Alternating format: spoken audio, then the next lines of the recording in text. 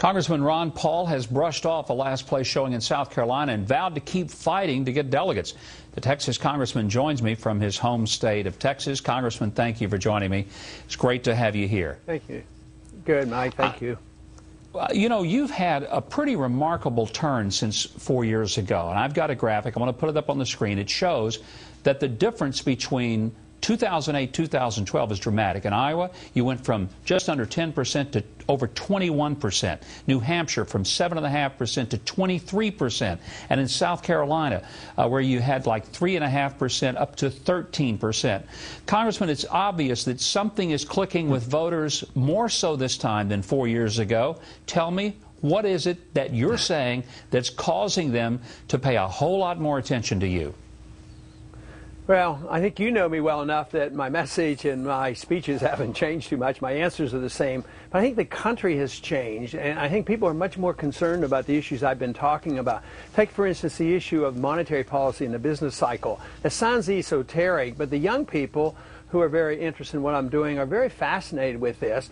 Also, I, I think people are coming around to thinking that how long should we stay overseas? Uh, you know, is it a wise thing to be constantly in these wars and we don't know when they're going to end? And Obama has expanding this without much consultation with the Congress.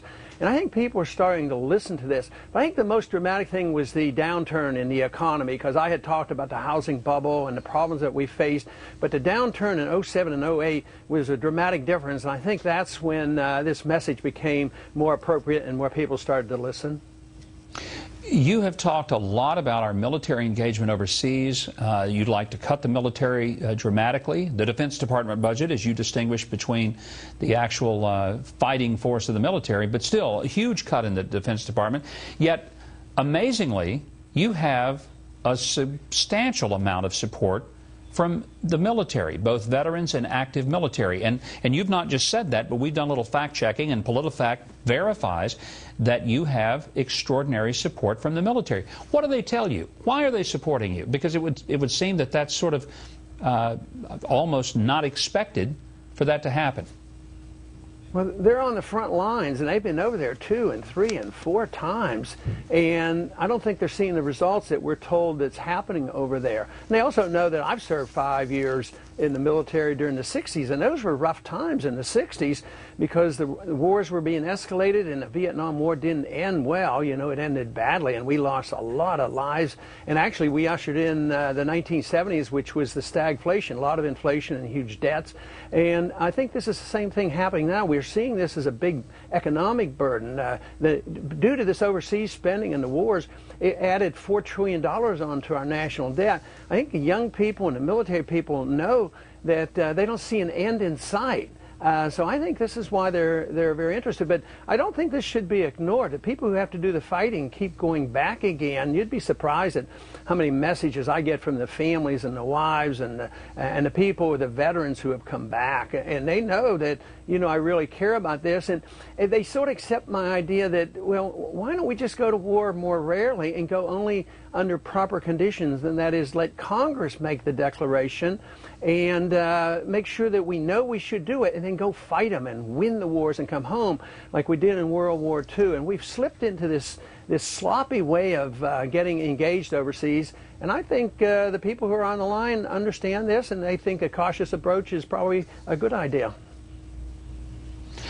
Congressman, at the risk of being uh, impolite, you are the oldest candidate in this race, and yet you have the strongest support from younger voters. Tell me why. Well, it, it's a very good question. But I, I, think they have challenged this paradigm of right and left. Uh, you know, that we, we uh, have Republicans and Democrats, right and left. But I think if, if they look at what's happening, nothing really seems to change. And I think they're convinced, as I've been convinced, and what I talk about a lot, is it's not a struggle really between the leadership of two parties philosophically, even though the rhetoric is different, I recognize that. But I think the difference is what what people see is it's a struggle over power. They're insiders against our insiders, and then when they see you know both Republicans and Democrats bailing out the wealthy, you know like uh, Republicans and Democrats did in 07 and 08, uh, they see this completely differently, and, and, and they see me as more, being more independent in presenting the case that uh, there's another there's another issue, and we should be coming together maybe with a strict adherence to the constitutional and emphasis on personal liberty as well as economic liberty, and I, I think they find that a rather attractive approach. All right, Congressman, as you move into Florida, uh, who do you target? Mitt Romney, Newt Gingrich, Rick Santorum? who are your sights set on that you've got to convince the voters of Florida you're a better candidate?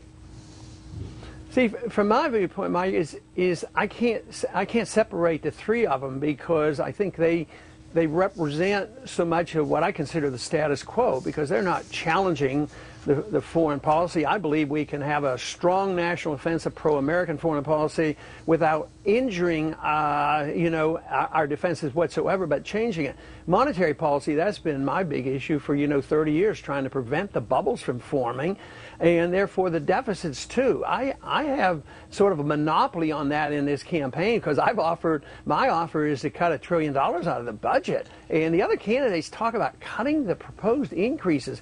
Everybody in Washington talking about cuts, but they're not really talking about cuts. They're talking about a kind of a trillion dollars over 10 years, a hundred billion dollars a year. Well, we're going yes. to have to go, unfortunately. But I appreciate very much your being here. Good luck in Florida. I know it's a, a tough and big state, and I thank you so much for coming tonight and uh, talking to us. Thanks for having me, Mike. It's been a pleasure.